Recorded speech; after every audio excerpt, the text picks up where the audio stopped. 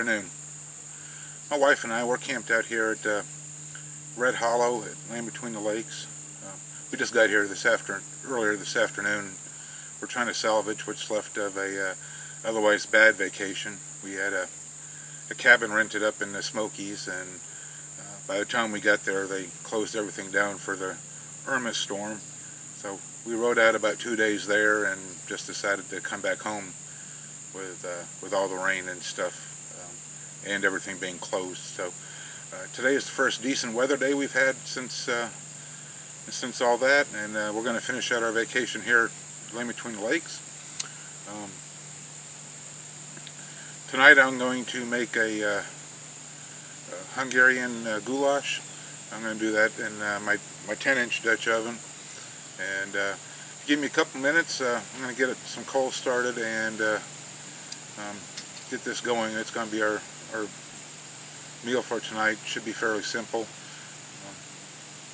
So give me just a couple minutes to get myself set up and uh, we'll get to doing this.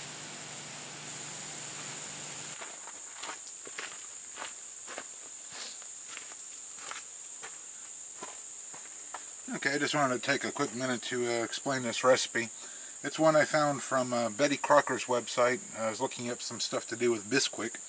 And uh, so that's what I got here. I've got uh, some Bisquick, um, some dry chives, a few other little spices, some salt and pepper, uh, some powdered milk.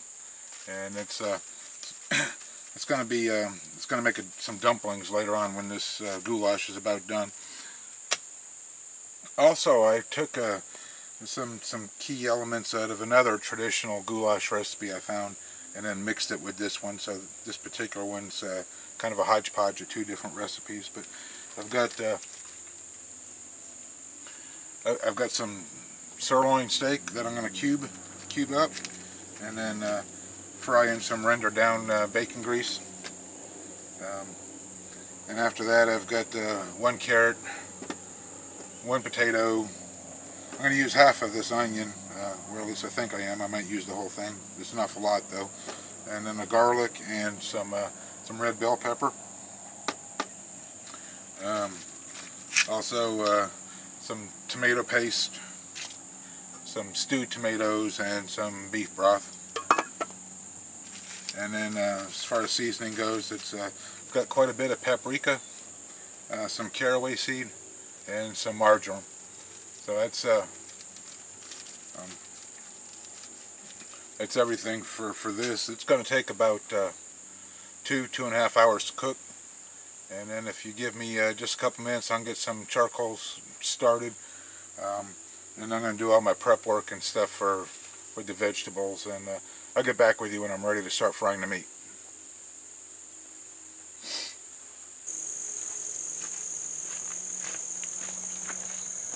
Okay, I've got uh, got 16 coals underneath my oven here, and uh, um, I don't think you're going to be able to see it from the camera angle. I got a little bit of canola oil in the bottom of that. I know, excuse me, I know, uh, I know earlier I said I was going to fry it up in the bacon, and I mis said that. Um, the meat's going to get fried up in the canola oil. I am going to use the bacon, but that's to fry up the vegetables and stuff afterwards. So uh, I got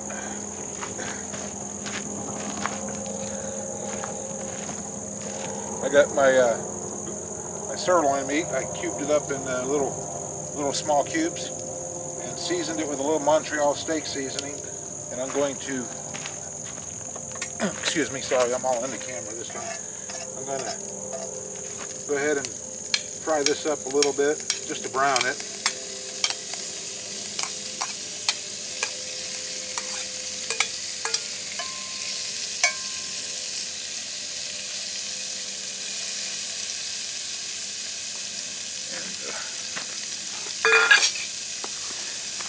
Another little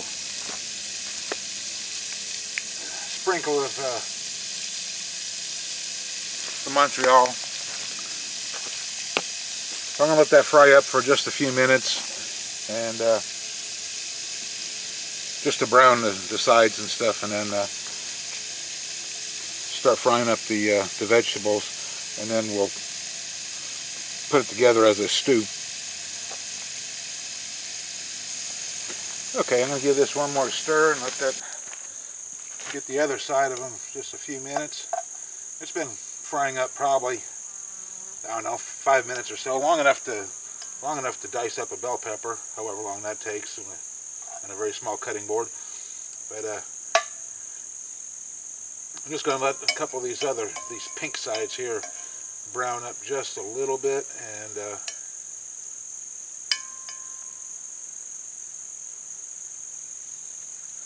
then uh, fry up the bacon and then the vegetables and get right back with you.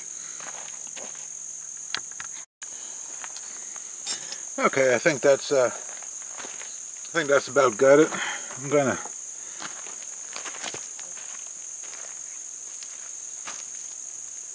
set that there for a minute. I'm to pull these off real quick.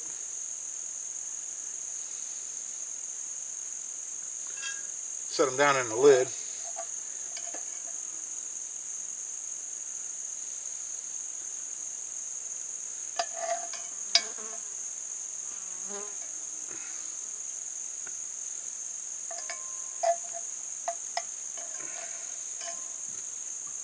And then uh, add the bacon to the pan, let it render down. Probably pull off some of this water from the beef.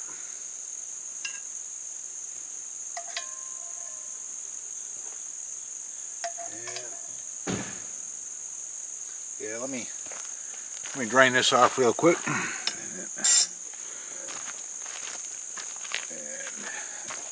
And take this little guy.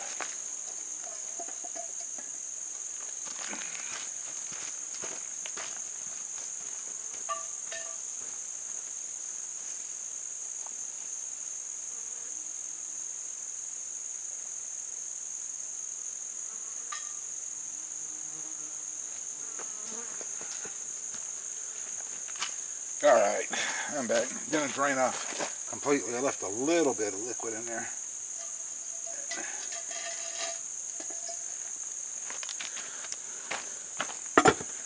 Get the bacon put in here real quick. And when that renders down, we'll uh,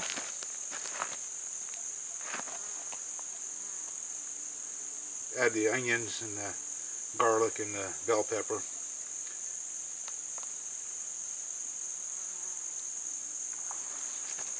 All right, so let's give that a couple minutes to uh, to fry down, and uh, get right back with.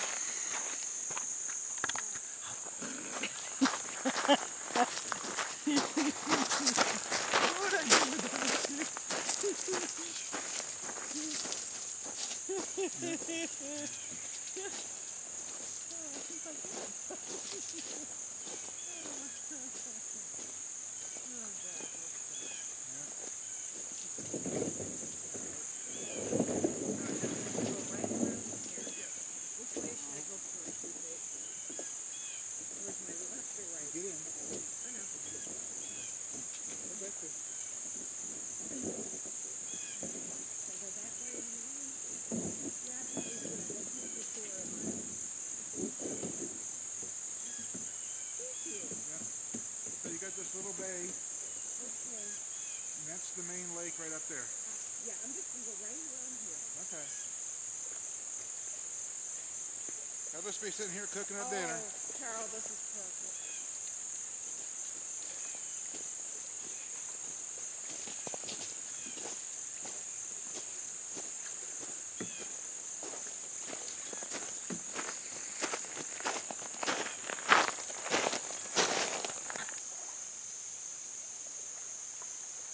Okay, that's uh, my bacon is just about fried up, and uh, I'm gonna go ahead and add the onions. Um, let them cook up a little bit, and once they get close to being done, I'll add the garlic and the peppers, and then I've got to start some new some new coals because I don't think uh, I don't think there's much life left in these coals here. So we'll let that fry just a couple minutes and uh, soften the onions up. Uh, add the garlic and pepper and then the paprika. Oh, sounds like my wife's back uh, sent her off a little bit ago and she wanted to kayak around the bay. So uh, sounds like she's coming back. So I'll get back with you in just a minute. Alrighty, I'm gonna I'm gonna go ahead and put the uh, the garlic and then the uh, the peppers in there. And give them a give them a little s- small fry, and then uh, add the paprika, and then start some new coals.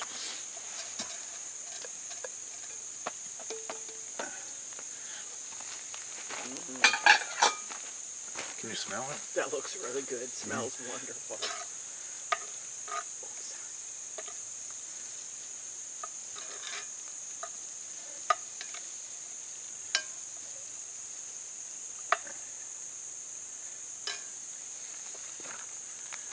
Alrighty, let that cook up for a few minutes, probably not much more than five, and uh, carry back to it.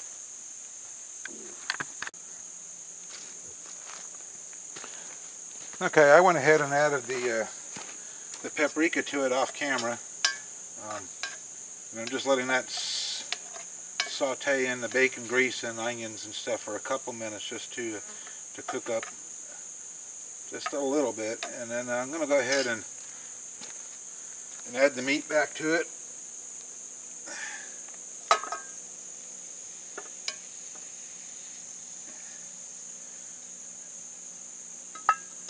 Set that there for a second and uh, add the remainder ingredients. Set it off to the side and start some more coals because those are really spent. So what I've got here is a,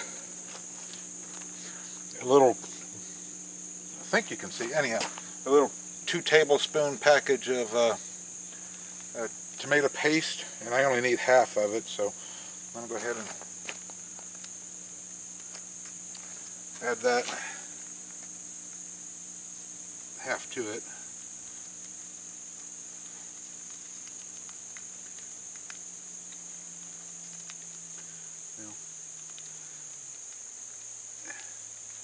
Sure what to do with the other half of it, but we'll figure it out. And then uh, my uh, beef beef broth and my tomatoes. Once I figure out what I do with the can opener.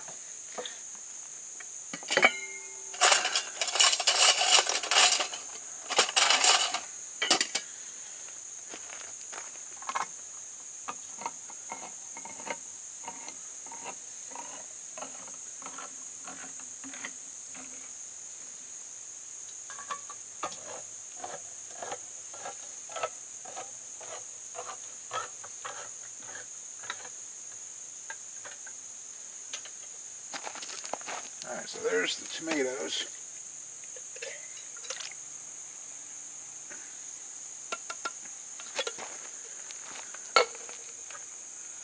And uh, the beef broth.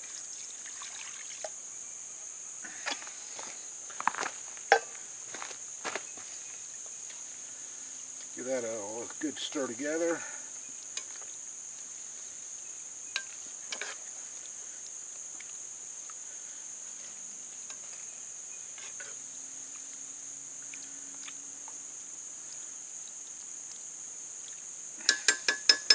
That is going to be so good. So,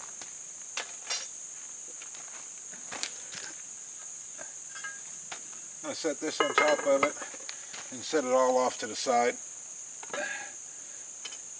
My coals are about spent. I have a. I forgot to bring my uh, charcoal chimney with me, so I'm going to have to start another set of coals from here. I'm probably going to, you know, let us put what little is left on there just to keep that to some form of warmth.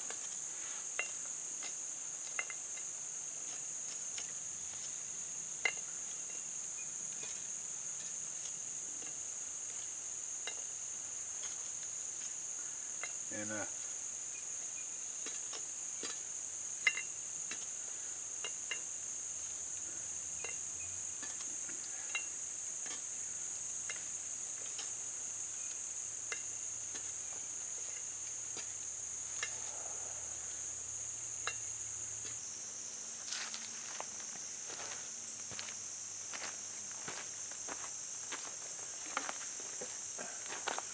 Okay, it's been simmering along rather nicely for a while. I'm uh, I'll go ahead and add my potatoes to it. And, uh, this. I forgot my lid lifter too, of course. So, oh yeah, that's sure is a shame you can't smell this. That smells really, really good.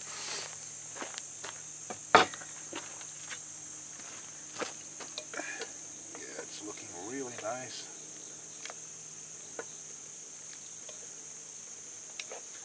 Alright. Add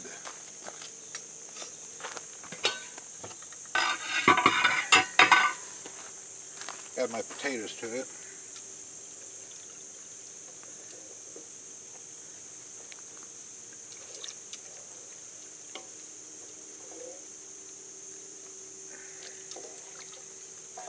I cut them fairly small too, so it wouldn't take as long for them to cook. And I'm going to let them go about half an hour, maybe 40 minutes, and then uh, add the dumplings to it, and then it should be should be about a meal after that.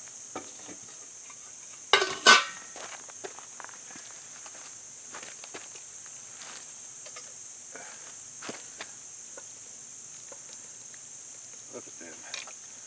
Look at that red color. That's really nice.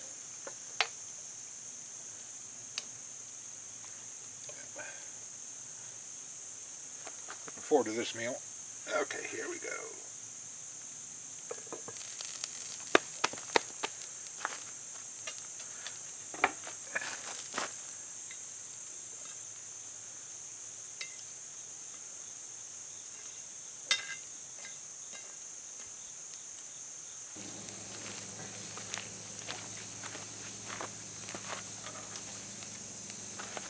Okay, and then for this last little bit here, I've got my, uh, uh, oh, there it is. Okay, I got my, uh, my dumpling mix, and then for the liquid part of it, I'm just going to use some, uh, just regular old sour cream. I went ahead and got the sour cream white, but um, I don't think it really matters. I'm going to put about a, a third of this container in there and then mix that up.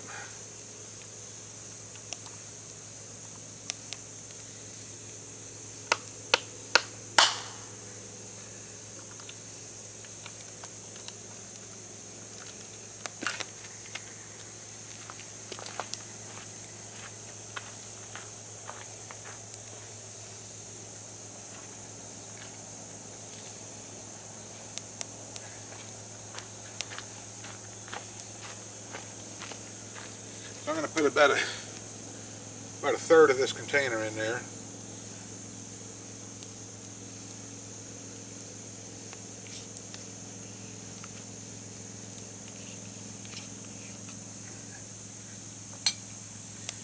Get all that mixed up. Here, Rue, can you put this back in the cooler?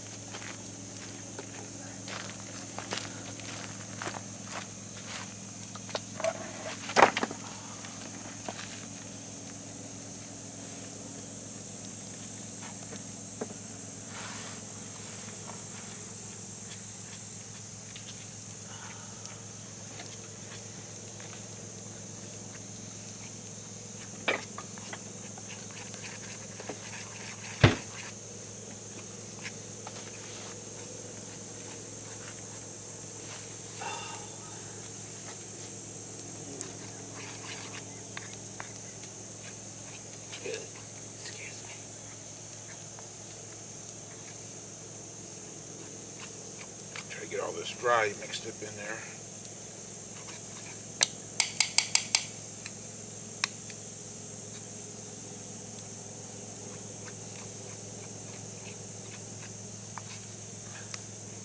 Sounds like a barge coming through. I don't think it is. It could be a houseboat. Yeah, because when I looked that other time, there was just a boat. Well, really?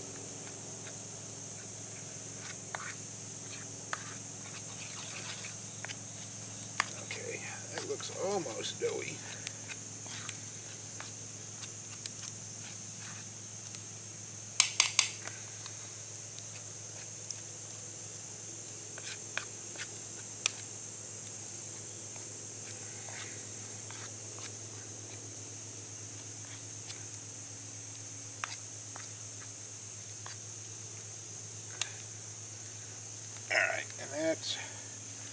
I'm going to wait about five minutes or so before putting that on. It's pretty much it. It was pretty pretty simple. So, uh, like I said, I'm going to wait about five minutes, put that on, and then uh, should be eating real soon.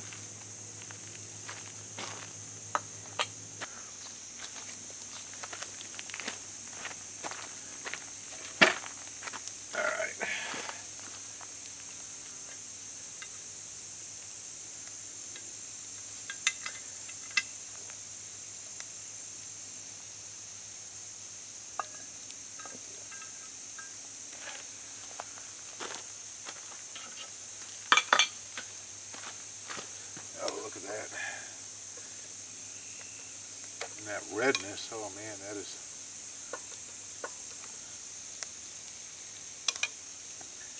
Yeah, that's going to be really, really good. Alright.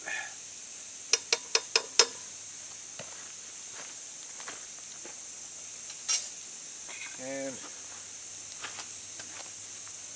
these dumplings in there.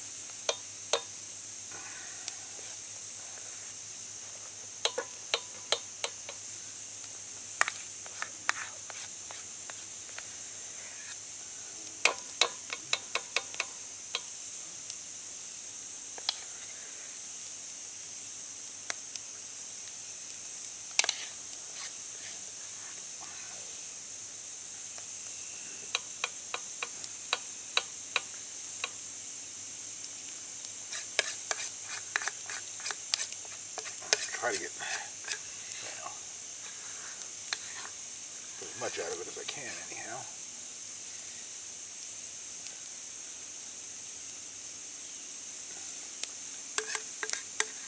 Yeah.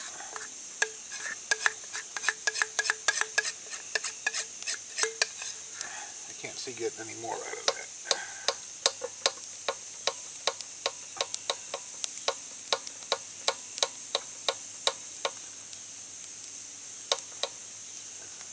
about it. Put the lid back on and let that uh, let that cook up probably 10 minutes and we'll check.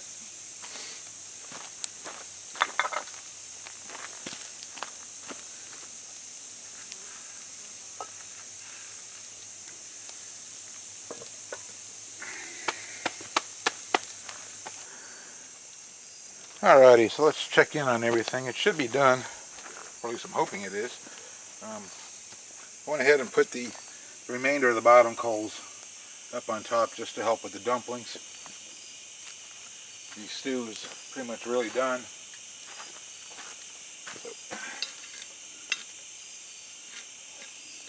Got a lot of ash up here too, so that's acting as an insulator more than it's a it's more hurting me more than it's helping me, but let's see here. I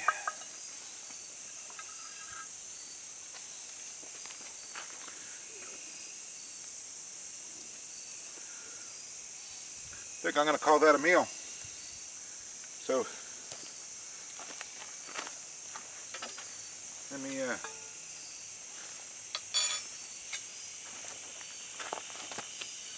let's see here. Kind of spoon. It's not slotted. Yeah, perfect. So I'll move this dumpling off to the side.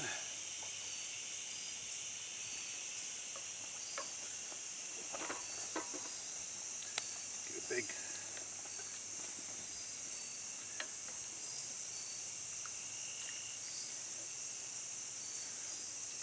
dumpling on there.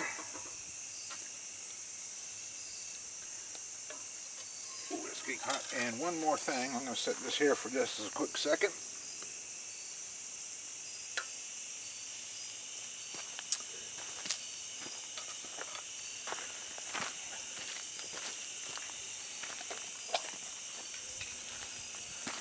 little dollop of the sour cream. No? You don't want sour cream, Ruth?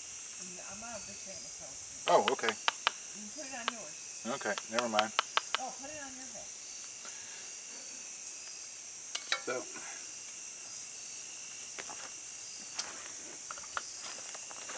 Sweet and cherry. That is all that, and uh,